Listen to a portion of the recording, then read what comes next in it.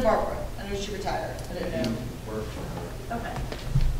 So they have an internal, I wasn't aware of any of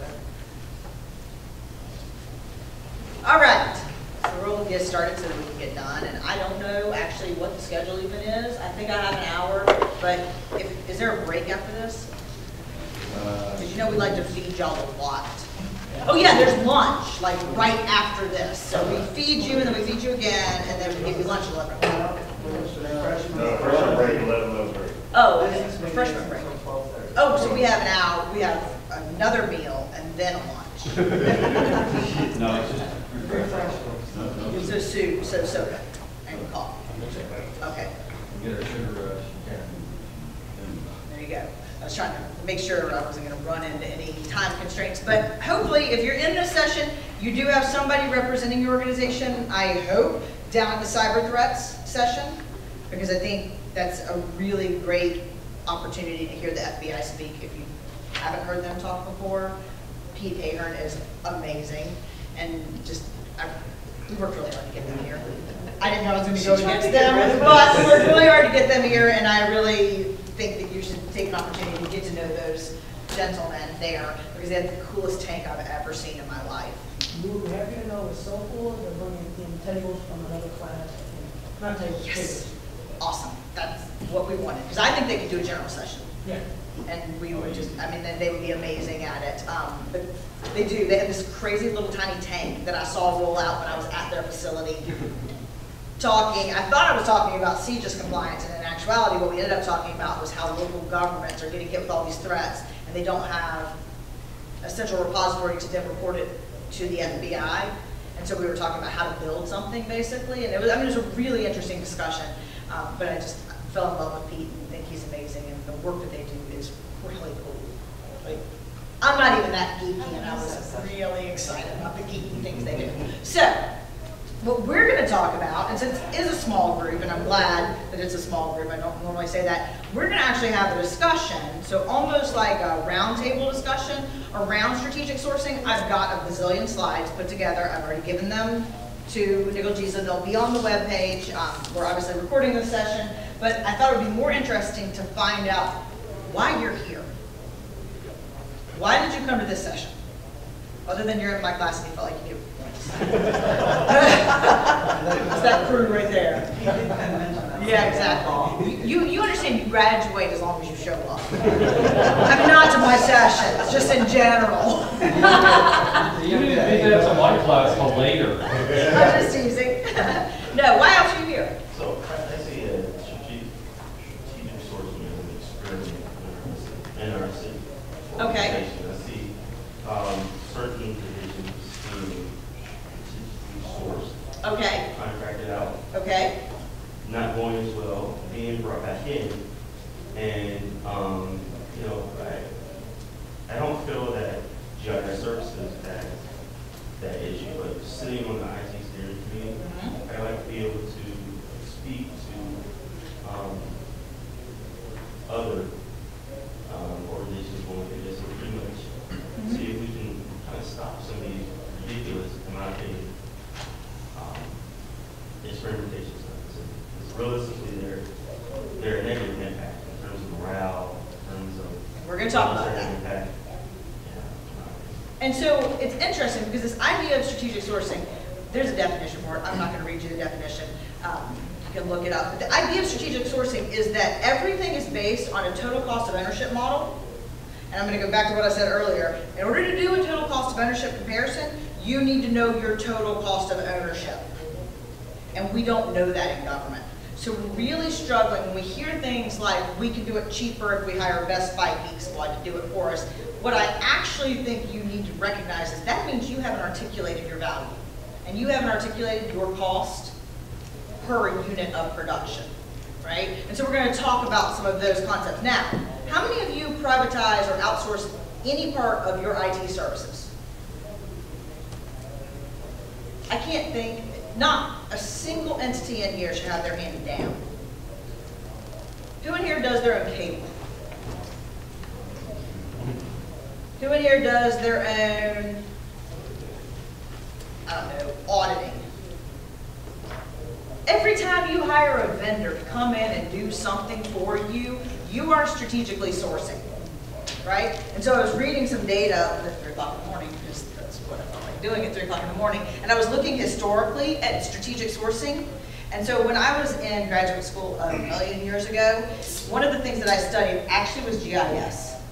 So back when we used Avenue as the programming language, I got my GIS certificate, and I worked on a study that looked at privatization or outsourcing of GIS and GIS functionality. And what we found in the GIS space was that you hit a sweet spot with privatization at around 23% of your total investment. So about 23% of your budget share was being privatized. If I look at the total IT budget in 2004, it was around 15% across the country for privatization or what I would call strategic sourcing because I hate the word privatization. What do you think it is now? You think it's gone up? Gone up a little bit, maybe? Cloud has changed it substantially. So those of you who've moved into the cloud space, that's where we're starting to talk about some, some differences. So I'm going to tell you the story about the school of government. I probably shouldn't do this with TV on, um, but we'll pretend like this is legal to talk about. I mean, it is legal to talk about, I just might get fired. Um, so the School of Government, years ago, had our own IT shop. Those of you who are in my class know we have a large IT shop. Well, years ago, our IT director had a master's degree in English.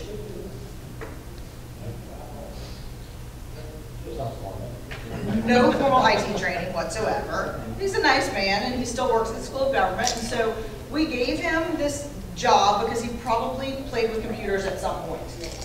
Right? I don't know, I don't know anything about the hiring because he was there when I came on board. And so we gave him this job, and I remember when I first started thinking about things like, I don't know, security, PCI compliance, data at all. I walked downstairs to our IT department. I think I told, know I told Court's class because I remember talking about this. And I opened the door to literally a closet, like a closet where you hang coats. And there was a server in the closet, plugged in, with no fire suppression. The door wasn't locked, and by the way, it had all of our cardholder data stored on it in 2003. This is a problem. Fast forward to where we have substantially more IT professionals working in the school government. We have about 16 people that serve as IT professionals for the School of Government alone. Okay, we have about 150 in- total employees, 16 IT employees. I know y'all are all thinking, man, that's a sweet gig. It gets better. they- Some of them have heard this, it gets better. So the same IT director, and no fault of necessarily his own, but the same IT director had a massive failure. Our exchange environment went down. And it was one of those things that, oops, back up. Right? We lost roughly two years of email. We were down for two weeks. That's bad news, right? Well, he was actually still IT director for a while, and he still works for the school. Just, we put people above him now. And so it was really interesting because about that time, the campus realized that they were doing the same thing we were doing.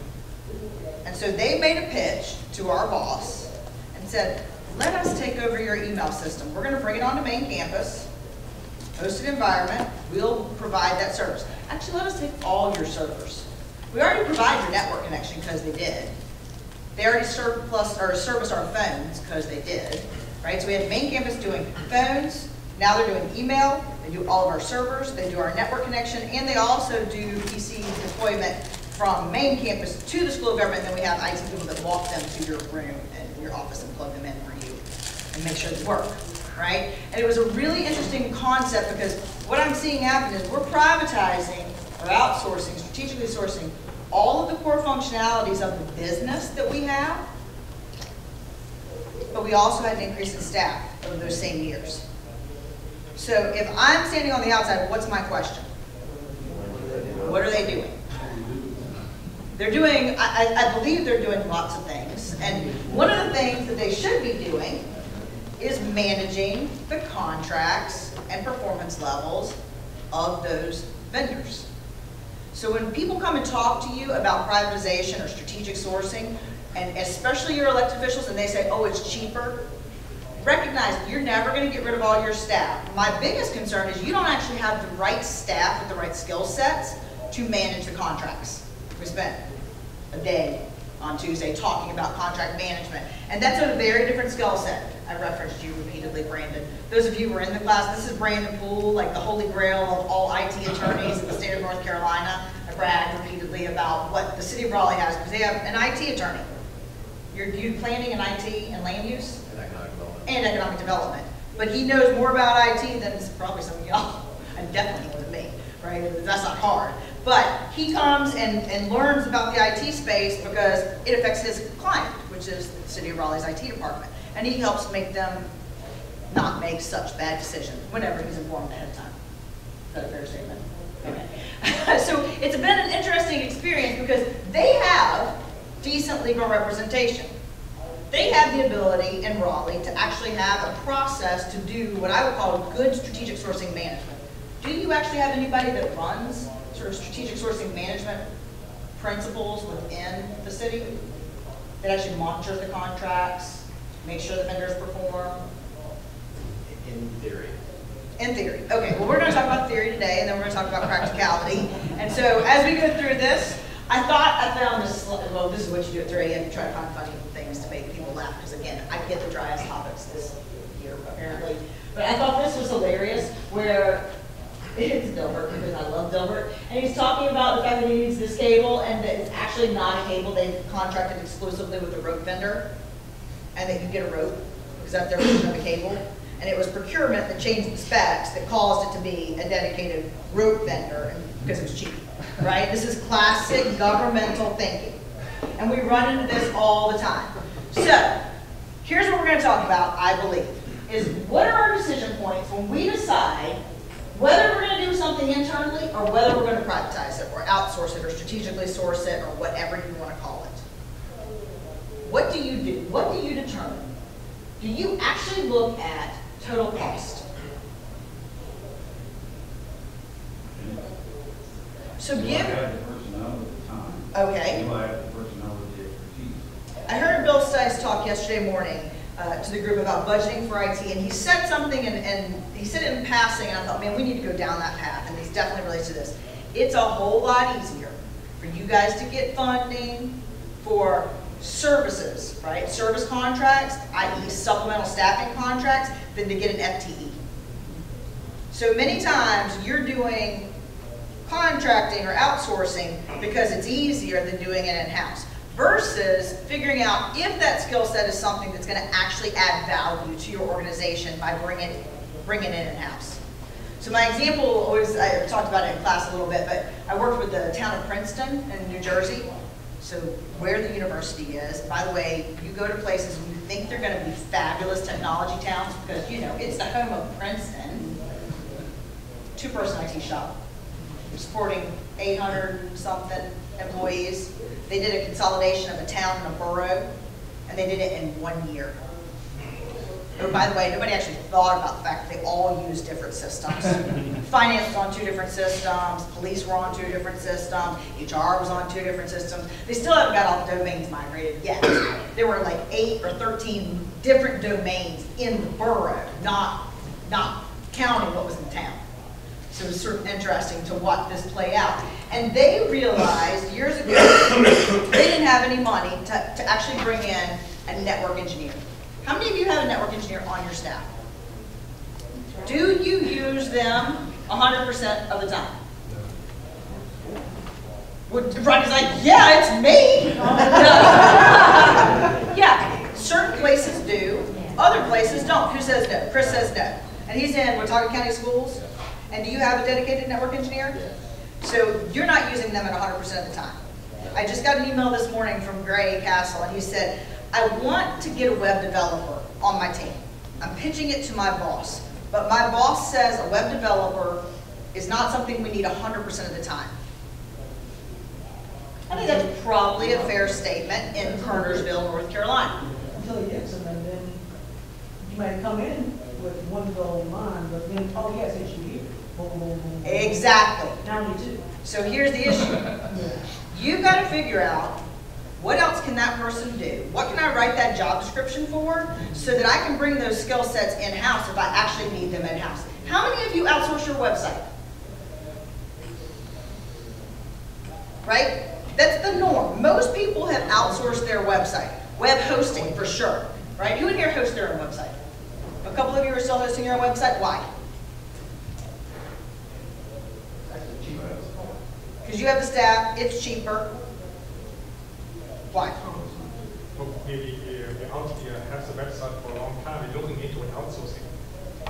But we don't have any staff, the website getting complicated, getting more, more and more updated.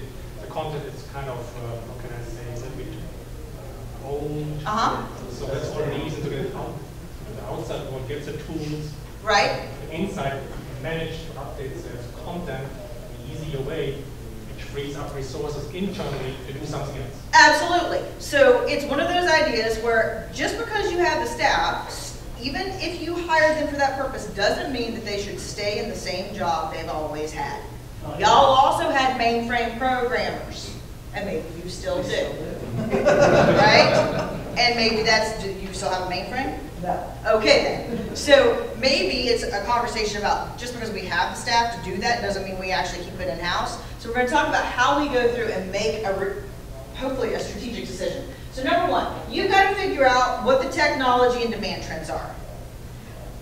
In this day and age, I don't know why anybody would be managing smart devices, smartphones. I would have a contract with a company and I would let my employees buy their devices and get their stipend and whatever. I would never want an IT department managing all the smartphones for the city. Huh? He does, but he buys his own. And he could get a stipend, but the university taxes us on it, so we just choose not to. But that's a whole separate discussion, right? But are you guys still managing your smartphones yourself? Why? I'm, we always have. Oh, there's the answer. Okay. If you, if you weren't in the session years ago when we brought in um, Charles Thompson, he was in Asheville. We brought him in from, at the time, Phoenix, Arizona. He's now in Dallas or Houston. He's in Houston. And he talked about this story about his mom or his wife and baking a ham. Does anybody remember this story? I'm gonna go ahead and give you this corollary, and you can use it, and pretend like it's your own, because it wasn't his either. He stole it from somebody. And so the idea is, he had his wife, and she's making the ham at Christmas, and he watches her, and she cuts both ends of the ham off.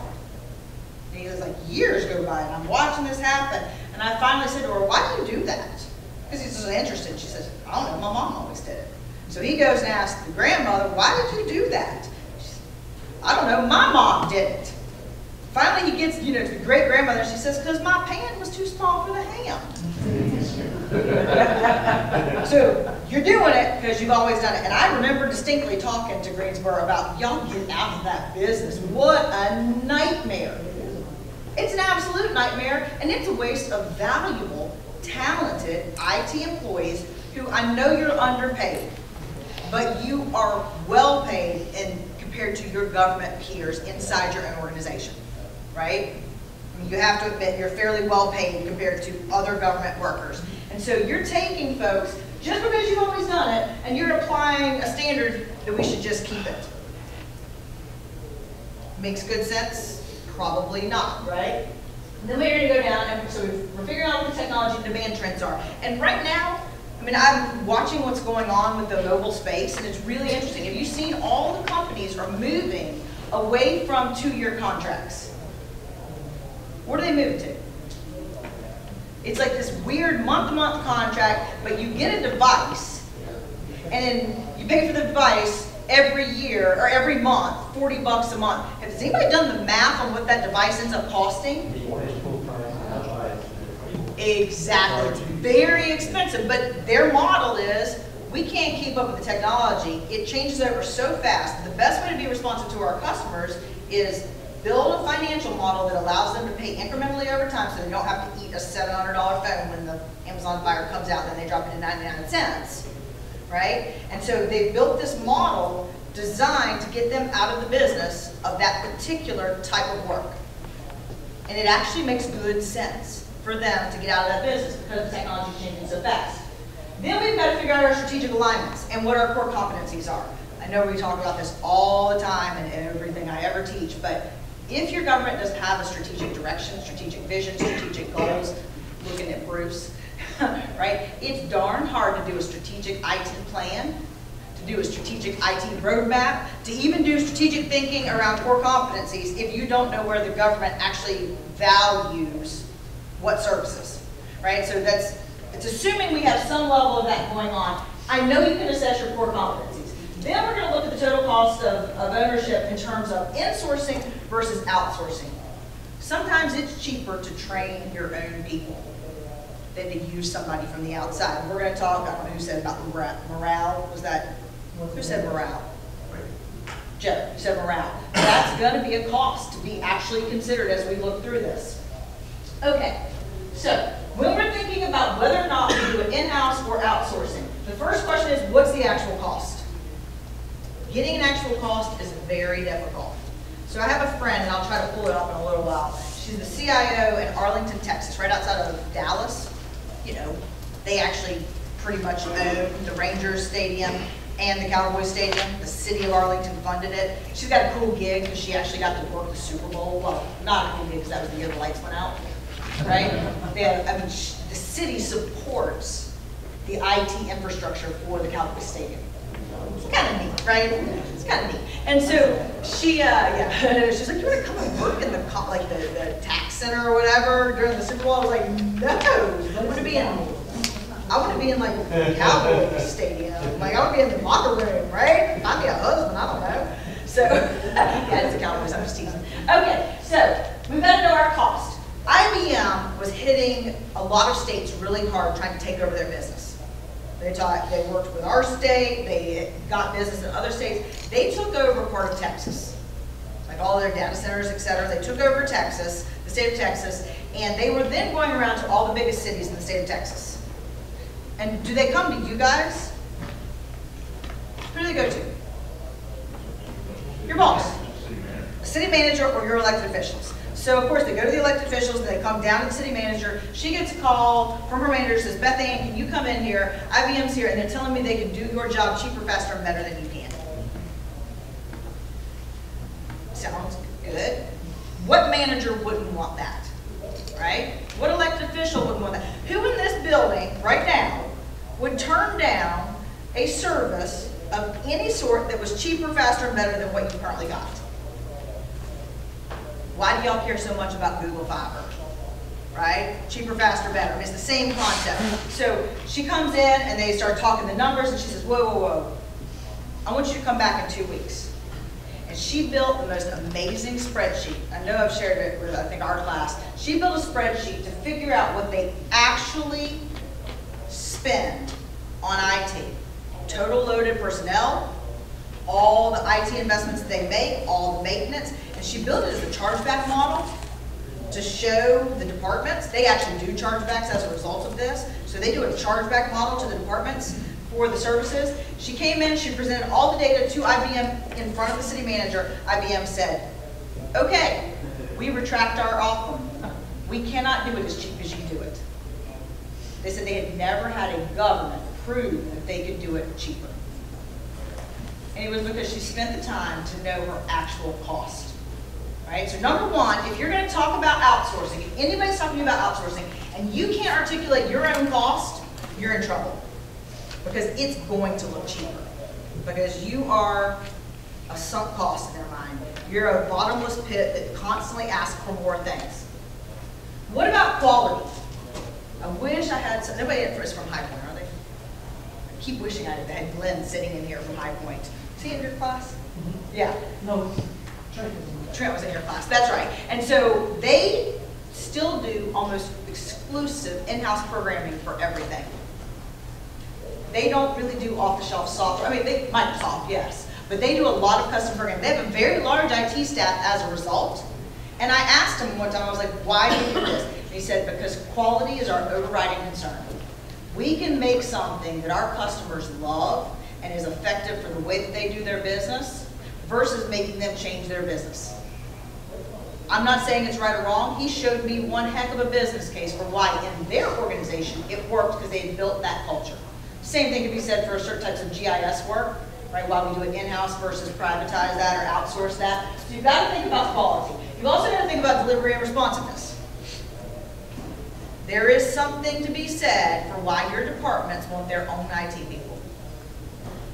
They can put their hot little hands on the IT geek whenever something breaks, right?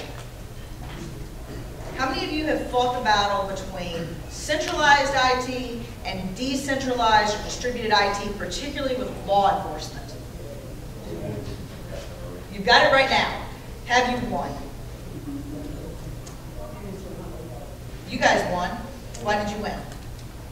uh, partnership. Working, a strong partnership with and showing them the costs, and they don't want to do IT. That was their, we don't want to do IT, so here you go. Why do you think they started doing IT?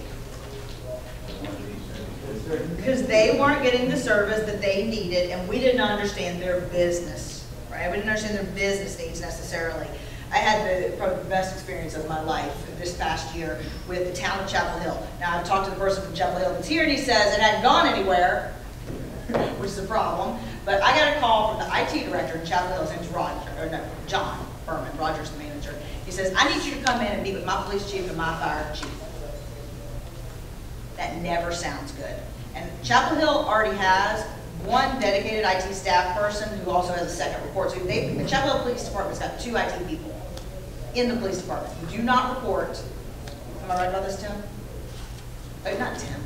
I'm looking at you thinking you know what I'm talking about. And it's the other Tim that was sitting right over there that used to know what I was talking about because Chapel Hill. And so when we talked to them, I came in there, I'm thinking, oh my gosh, this is a mess. Like, I'm gonna get hit with this conversation about why we have got to be separate.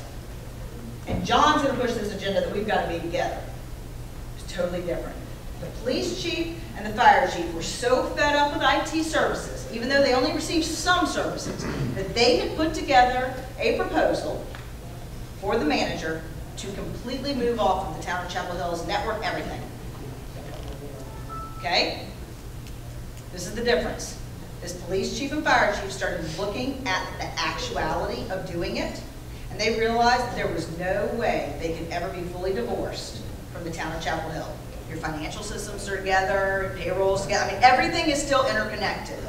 So they said, we stopped, we had a come to Jesus meeting ourselves, and we decided that we were gonna figure out how to put our resources into the IT department and fix them.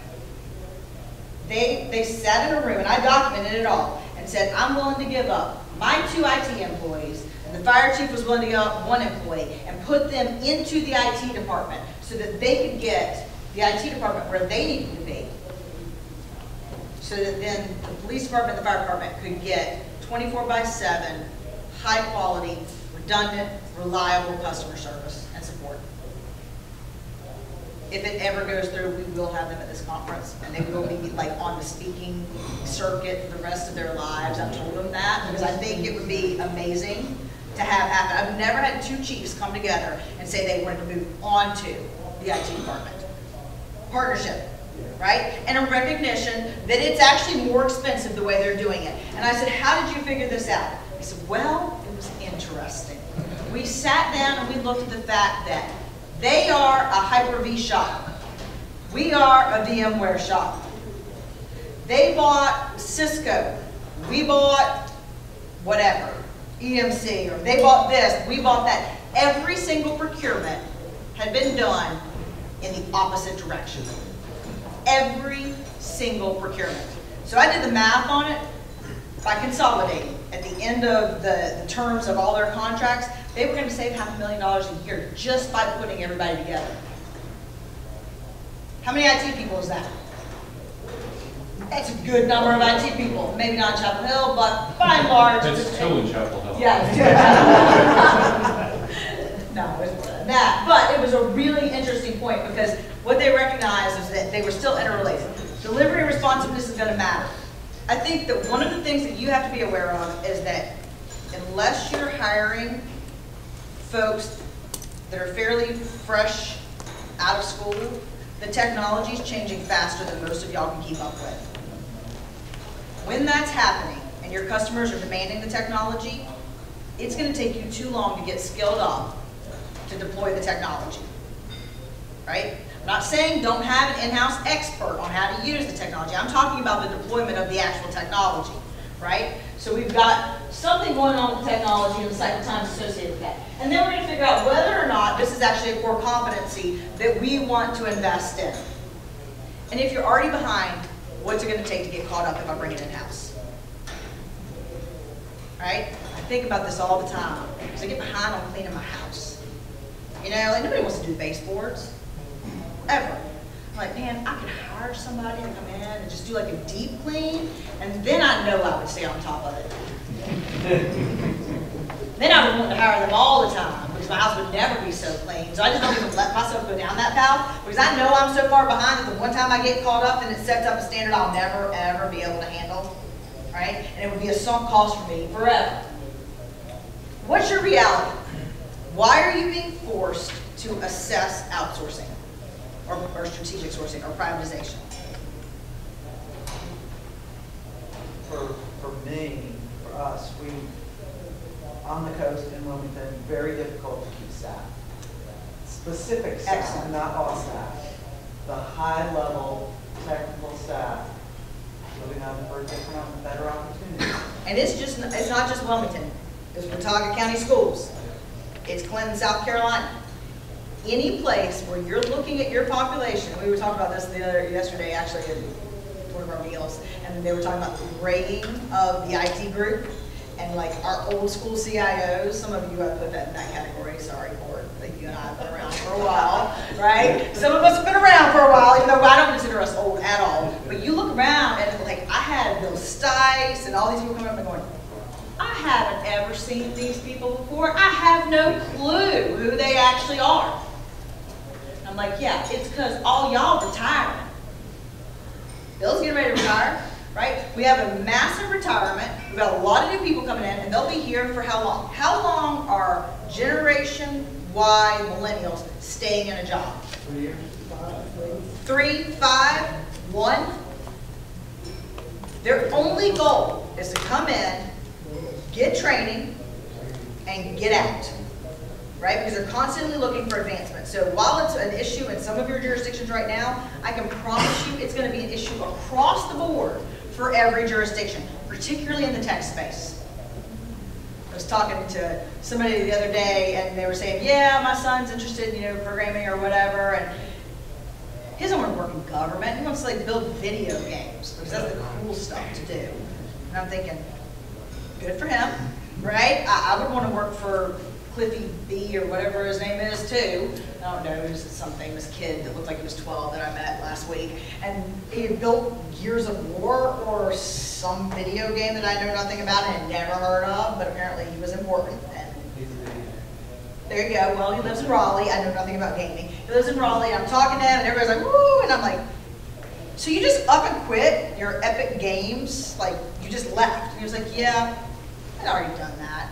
I made my money. I was bored." So he started this weird little startup that does nothing related to that particular thing. And then he was like, "But you know, I miss gaming, so I built a new game, and I have enough money now. I just give my game away for free." The model changed on it the iPhone and all the in-app purchases changed the game. So he had to build completely differently, and it got him excited again, right? But he went to a new company, started something brand new. So the reality is, you're going to be faced with this space. Things that look good for outsourcing. So reasons you would consider outsourcing. Your vendor is going to be specialized, right? We hope. That would be one reason to consider outsourcing, that specialized know-how. It might be that they're cheaper. Who has found that a vendor is cheaper than doing it in-house? How many of you are doing outsourced email now, 365, or Google, or whatever? Of course, I still use your contract as my favorite example. I taught it on Tuesday. Um, No, I know, but all the challenges that were associated with the contract. It's cheaper for you, You can't do email cheaper than Microsoft. right? What is it? For the exchange online only people, it's a dollar or thirty something a month. I read last night a study that was done in 2003 that said that nobody could do email as cheap as they could privatize it. 2003. It's 2014, and we're finally kind of getting in that space, right? Microsoft keeps dropping the price. So you can't do it cheaper. Why are you guys keeping it? Control. What kind of control? Easier access to data, public records. Public records, easier access to data, security, or because we've always done it, right? It's easier to blame y'all than when something goes wrong. Right, and Uli and I actually had a good conversation about that. What happens when it does go down? Right, this is where you have to have good contracts in place, because if it does go down, what are you gonna do when the council freaks out? They aren't gonna be like us old fogies in the school of government, and when we lost our email for two weeks, we're like, yes! And we won't answer our phone either. No work for two weeks, it's great, right? That's the beauty of working at the university. But the reality is, we've got cost considerations, and it's getting cheaper and cheaper. The whole concept of the cloud is that economies of scale make it cheaper. I'm not saying that's the reality, I'm saying that's the concept of the cloud. Organizations may lack the ability to do the work. How many of you do your own sanitation versus privatize it? One, two, three, four, five, you do residential? How many of you have privatized with like BFI or Waste Industries? It's cheaper, substantially cheaper, right? I know that um, years ago, Mecklenburg County, or the city of Charlotte, one of the two of them, did basically a privatization effort. Was it the county or the city? City. Where they, every group of employees had to compete for their jobs. And it was really effective, wasn't it, Dwayne? Guess what they spurred? Innovation. If your job looks like it's gonna go away, you figure out real quickly how to do things cheaper, faster, and better. And they only ended up privatizing like two or three services total. I know it was the nuclear waste, waste industry, or trash, sanitation, and there was something else. No, sanitation is just one sector or one quadrant. Right. sanitation. The second time we competed, because of power maintenance programs, things of that nature, they actually came in cheaper. But like you said, it was all a lot of innovative practices around that. Right, it was how do we figure out how to spur innovation in our organization to get people to do things differently than they've always done it, so they stop managing the phone system or whatever it is. And a lot of our resistance to this is that it's job security, right? We recognize that, it's job security, we don't want to change the way that we do things. At times, you may want to do privatization because it's easier, you can get small volume versus big, huge purchase. Small volume means when I want to hire a DBA to do work, I hire them for 40 hours over three months versus buying a DBA. You understand? Right, that DBA doesn't have a full-time gig, so then I've got to add duties on to them, whether or not they're right duties, I don't know. You've also got your organizational capacity constraints that you're going to work with. The real, the- I think the real issue for you guys, being in the public sector, is that nobody wants to add to the government roles. That's why you get hundred thousand dollars for discretionary spending on service contracts. And you can't get a twenty thousand dollar admin position. Every time. Nobody wants to look like they actually are adding to government roles in terms of employment. You also have um, uncertain volume requirements. You're not sure how often you're going to use this thing. It's a one and done, if it's multi, multiple times, if everybody's going to buy into it or not. So those are the kinds of things that you would want to consider whether or not you want to privatize. If it is a commodity item, you should outsource it. Why? You've always outsourced it. It's cheaper. None of y'all build your computers, do you? Does anybody here buy parts and actually build the computer? Did anybody used to do that? Bill's like, yeah, back in the seventies, right? A hundred years ago, we did. Why don't we now? It's cheaper to do it online, right? So you've got to start recognizing that there's times where you've got a commodity that actually will allow you a cheaper cost from the private sector. So the advantages of outsourcing, you have a ton of flexibility if you manage the contract appropriately. We're gonna talk about contract management as we get a little bit. A lower investment risk. How hard is it to fire a government employee? How hard is it to fire a contractor? I'm not saying y'all do it, but how hard is it to do? It's very easy to fire a contractor. So it's a low-risk investment. You can have more cash available to you because you're not tied up into salaries. And the labor cost might be cheaper. And I love the story from Fayetteville because years ago, we kind of busted on Fayetteville about their help desk situation and having so many calls and people felt like they couldn't get support 24 by 7. What'd y'all do? What company are you using? Carolina's IT. They said, you know, our management's probably not going to really go for 24 by 7 IT support. We're going to find a company that can do level one and a little bit of level two. Am I right about this? Help desk support whenever we need them and definitely after hours. How many of you work hours outside of normal work hours, like on call? Why aren't y'all looking at that same model for level one, possibly level two? Not only are you improving productivity of the organization, but you're also lowering demands on your own personnel. I saw about a 15-page dissertation about on-call employee, on-call employees on the listserv. I couldn't even get all the way through because I didn't understand it all. But by and large, it's a very good debate.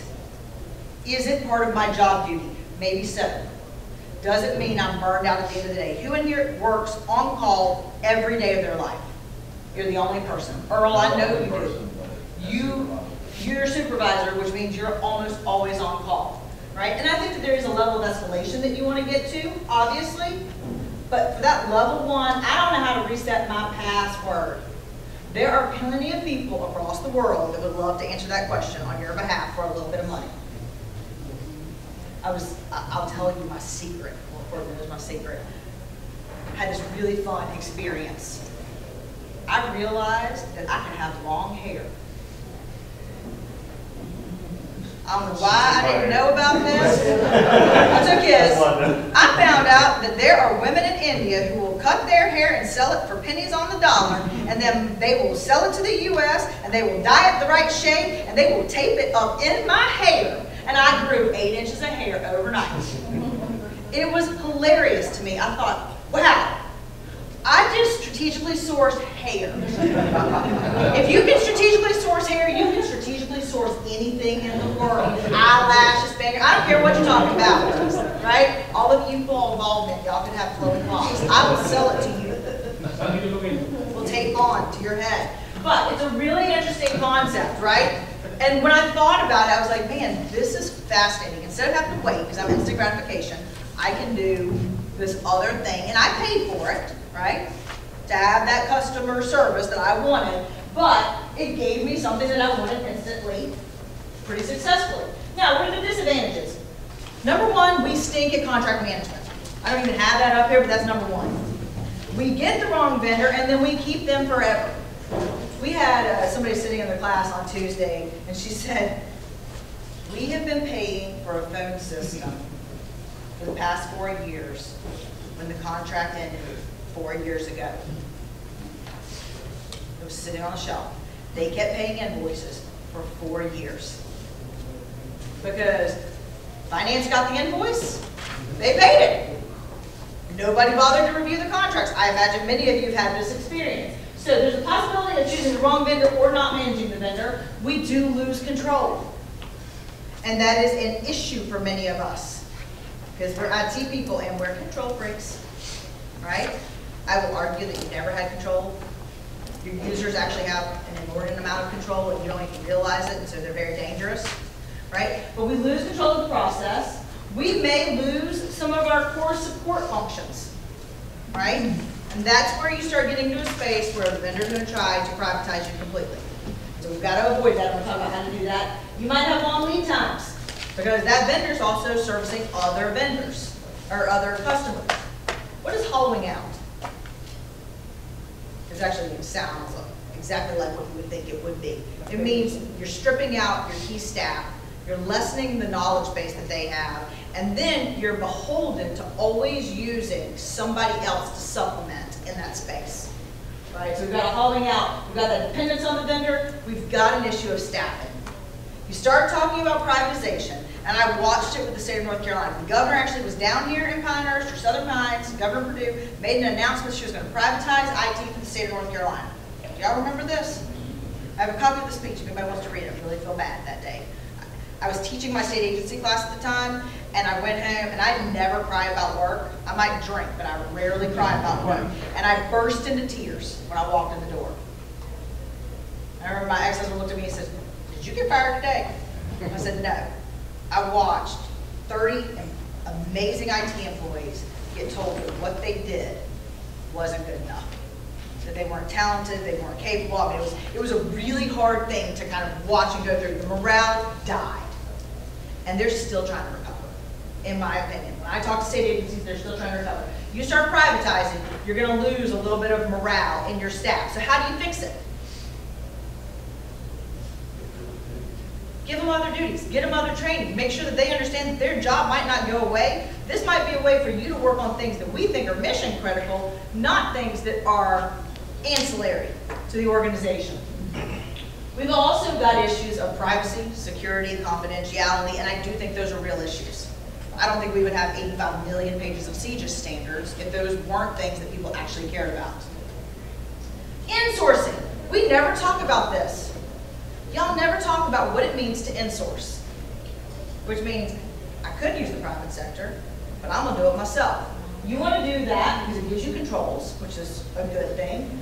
More important, you have visibility. You have the ability to sell, you learn the business units, you learn all of these sorts of things. And and I teased, I've teased Bruce before about this, but I love that we write strategic IT plans for local governments. I think it's a great service that we offer, and I think it helps us inform our teaching. I hate that we do it. Because I think the IT professionals, especially the directors, are missing the biggest opportunity to get to know their customer when they tell me to go in and interview their customer.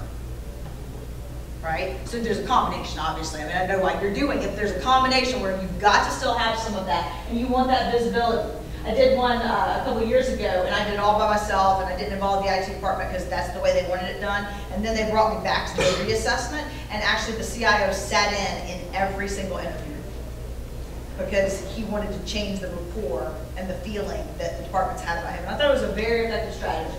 We also can control the economies of scale and scope a little better with insourcing. Disadvantages, it's a high volume output. It's expensive to do. It's a big investment and it requires some dedicated staff. So we're going to talk about core competency. Here's how you decide what you're going to in-house, do in-house, and what you're going to outsource. How many of you have ever seen this? I think it's Price Cooper, some, whatever that company is, right? So the bottom line is, number one, you figure out what you're good at. And if you need to be good at it, just because you've always done it doesn't mean you actually should continue to do it, right? It's great that we worry so much about doing things right that we never actually think about doing the right things. So we're always struggling with that. Then you figure out what you need to be good at and make your staff skills to reflect that. And then you get rid of the rest. You outsource it. I don't think we ever do eliminate.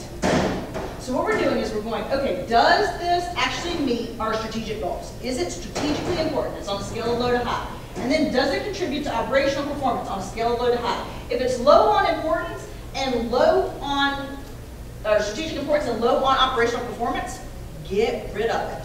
What are you doing right now that does nothing for your organization?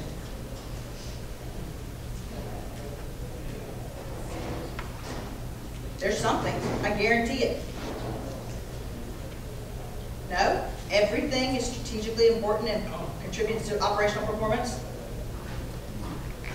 What are you doing, Lily? Yeah, right now going through a project outsourcing our pay stubs and W-2 forms, completely outsourced. Okay, so you're getting rid of a common service that can easily be outsourced, like payroll. You guys are looking at payroll outsourcing? No, somebody over here was. You. But we're not outsourcing payroll, just, just. the Just pay- W-2s, right? Because it's easier to do when a firm actually is a specialist in that. Just submitting the data and they do the rest. I see an attorney standing in the back of the room, afraid of this back, she just hit herself. But I always think, and then this is an interesting question, because we've got Brandon sitting up here. Do you think it's better for cities or counties to have in-house counsel or contract counsel? Depends on the subject matter. Depends on the subject matter, because at the end of the day, even if you have in-house counsel, unless you're the city of Raleigh and have like a ton of attorneys, right, or Charlotte, you probably still can't find an attorney that actually can give you the right answer about a specific topic. You're probably still gonna have to go outside at times. Just like you would do with an IT department, right? And we make really good decisions in most of the areas except for IT.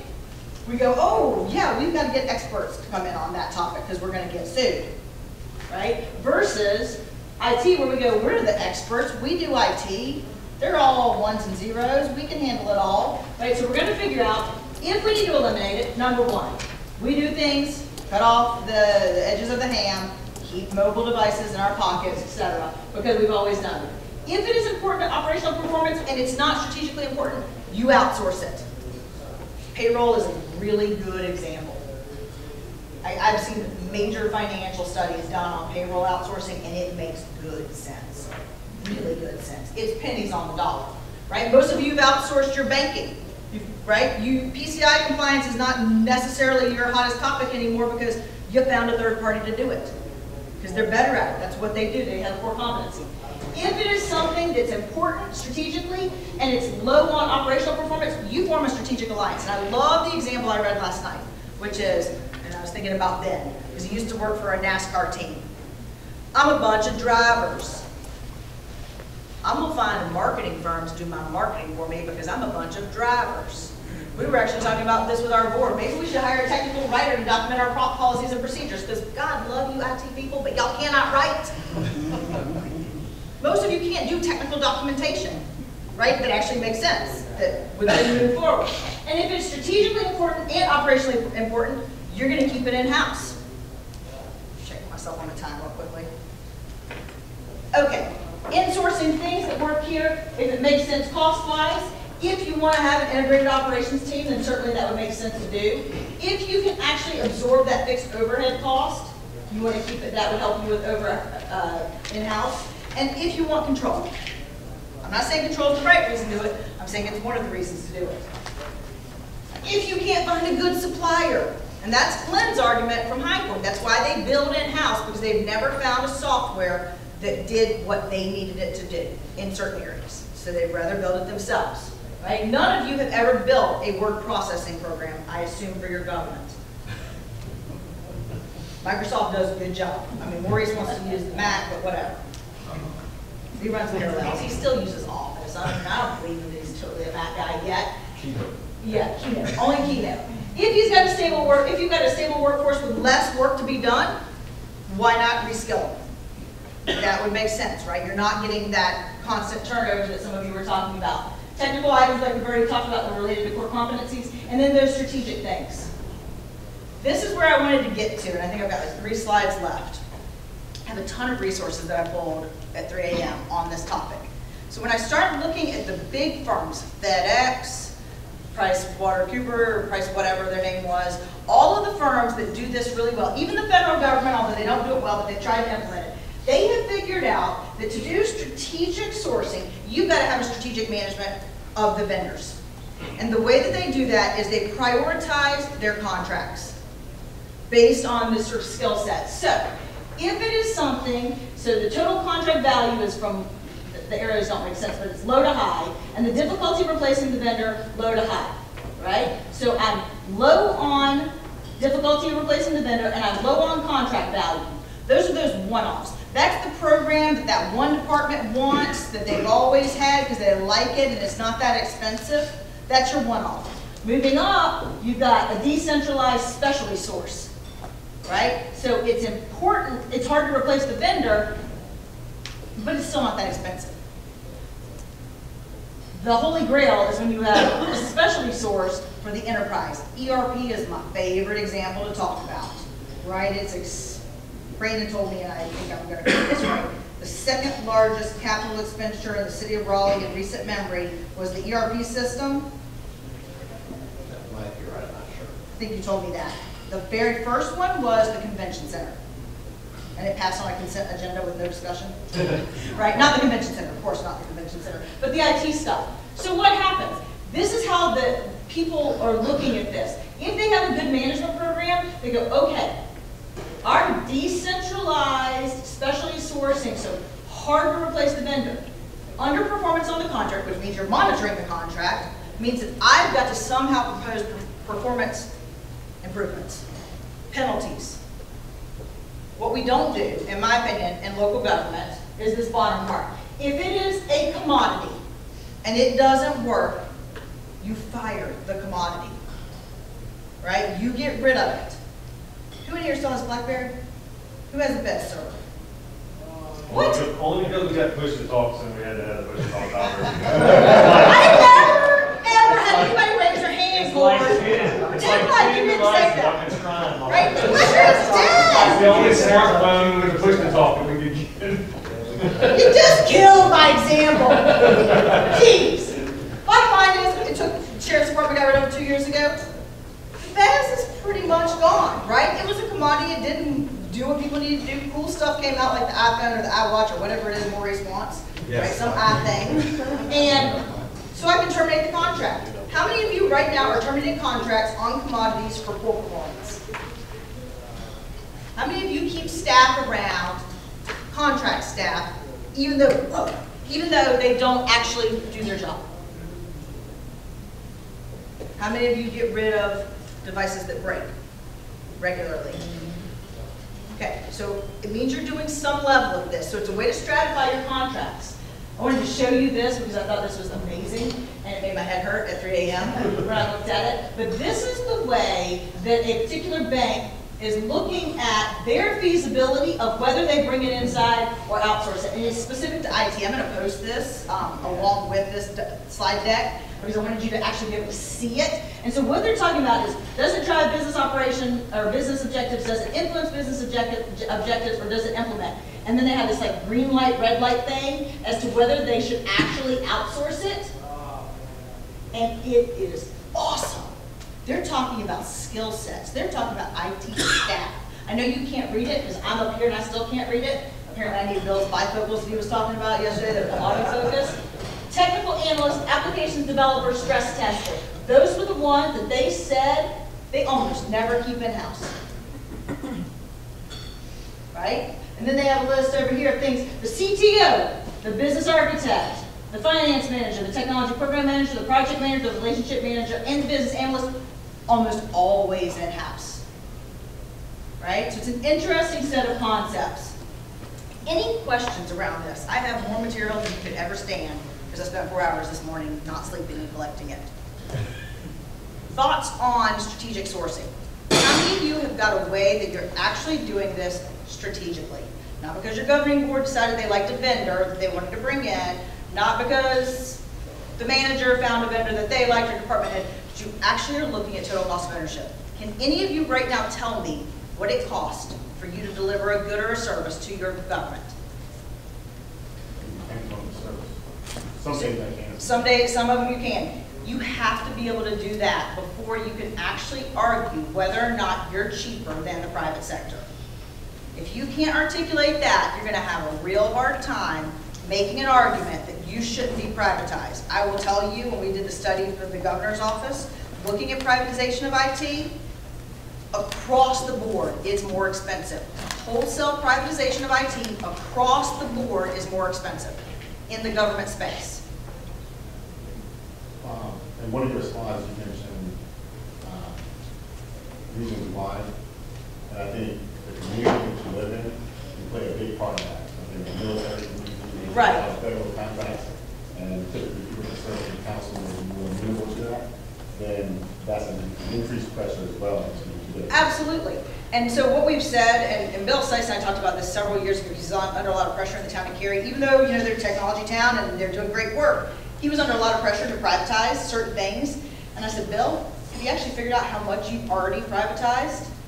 How many dollars you're putting back into the private sector, into your local community? He said, no, haven't actually done that.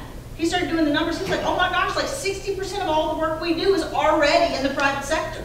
Because we use vendors and contracts and other things, so you're already doing it. You're getting hit about it because you don't actually articulate the total dollar value that you contribute back outside of your own staff levels, right? So that's number one rule. Before you go down this privatization discussion, make sure you've got your financials in place. At the end of this slide deck, which is already on there to go to the NCLGISA website, is a series of slides about how to evaluate vendors how to manage vendor contracts. Okay? those of you who are in my class are probably gonna get that again at some point, because it's sort of built into a vendor management session we're doing after Brady comes and talks to you about procurement law. But I think you'll, I think even if you don't go to the class,